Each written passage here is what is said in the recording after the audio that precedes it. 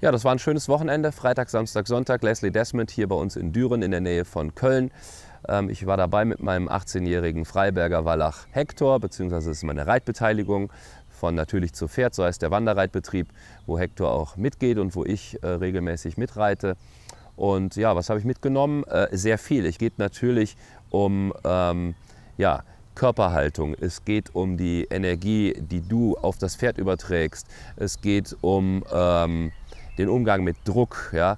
Man muss dazu sagen, Anna und Ilja van de Castele, denen hier der Hof gehört, der Wanderreitbetrieb, es ist nicht nur ein Wanderreitbetrieb, aber auch ein Wanderreitbetrieb, äh, kennen natürlich Leslie Desmond und ähm, setzen auch ihre Methode um. Ja, es geht einfach darum, wie erreiche ich eine Partnerschaft mit dem Pferd, ohne dass eben mit irgendwelchen Gegenständen gefuchtelt, geworfen wird oder das Pferd bedrängt wird.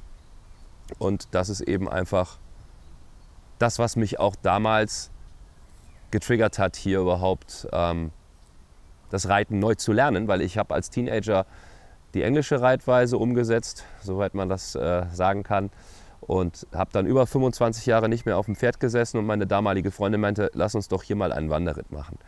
Und für mich war natürlich erstmal ja Wanderritt, äh, ich möchte mich da schon dem Thema nochmal neu nähern. Ich konnte mir gar nicht vorstellen, wie das ist, mit so wenig Krafteinwirkung und Tools Pferde zu steuern, zu lenken, wenn ich das mal so sagen soll. Ja, und ich finde es einfach schön.